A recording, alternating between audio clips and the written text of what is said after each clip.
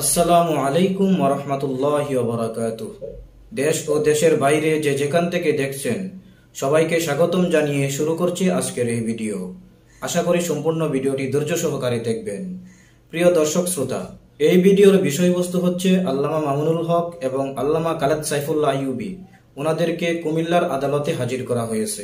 কি কারণে কেন হাজির করা হয়েছে? এর আগে আমরা দেখব মানুষ বুক ভরা ভালোবাসা নিয়ে। ওনাদেরকে এক নজর দেখার জন্য তারা কতটা আগ্রহের সহিত অপেক্ষা করছে এবং কীভাবে ওনাদেরকে আদালতে নেওয়া হচ্ছে? চলুন, আমরা সেই ভিডিও ফুটেজ দেখে আসি।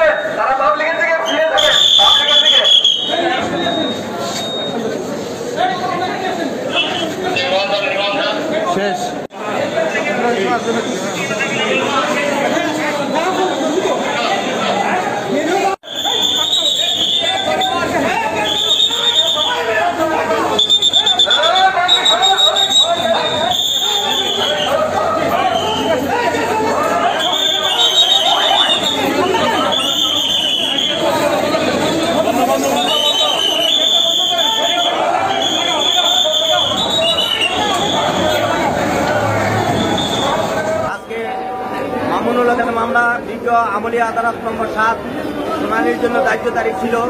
আজকে বিজ্ঞ আদালত উভয় পক্ষে শুনে এটা আগামী পরবর্তী শুনানির জন্য তেইশ বারো দিন দায়িত্ব করা হয়েছে এবং তেইশ বারো তারিখ এবং মামুনুল হকের উপস্থিতিতে মামলাটি চূড়ান্ত শুনানি হবে। ধন্যবাদ সবাইকে। মামলাটির বিষয়বস্তু ছিল চান্দিনা সে মানে ইসলাম বিরোধী দেশকে অরাজকতা সৃষ্টি করার উদ্দেশ্যে বিভিন্ন বক্তব্য এবং দেশকে নাশকতামূলক পর্যায়ে ঠেলে নেওয়ার জন্য এই বক্তব্য এই নাশকতামূলক মামলা মামলার বাদী রাষ্ট্র মামলার বাদী ছিল, রাষ্ট্র পক্ষ মামলার বাদী ছিল। এই মামলা আসামি কয়জন? অপর অপর হক এবং অপর আসামিরা আছে। উস্কানিমূলক বক্তৃতা কয়জন আজকে হাজির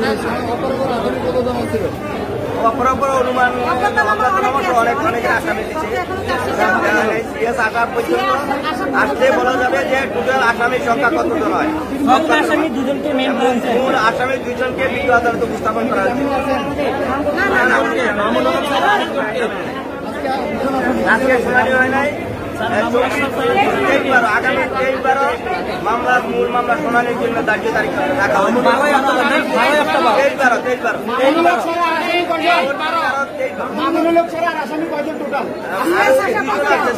আজকে দুইজনকে নামটা কি।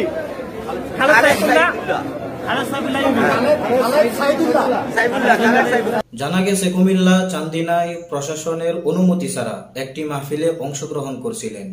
সেই পরিপ্রেক্ষিতে আল্লামা মামুনুল হক এবং কালেদ সাইফুল্লাহ ইউবিন নামে একজন পুলিশ আইন শৃঙ্খলা বাহিনী তাদের নামে মামলা করছিলেন। সেই জন্যই তাদেরকে আজ আদালতে হাজিরা দিতে হচ্ছে। শুধুমাত্র হাজিরার জন্যই ওনাদেরকে দশ মিনিটের জন্য আজকে বের করা হয়েছিল। তো এই পর্যন্তই, দেখা হবে পরবর্তী কোনো এক ভিডিওতে। সকলেই ভালো থাকুন, সুস্থ থাকুন। আল্লাহ হাফেজ।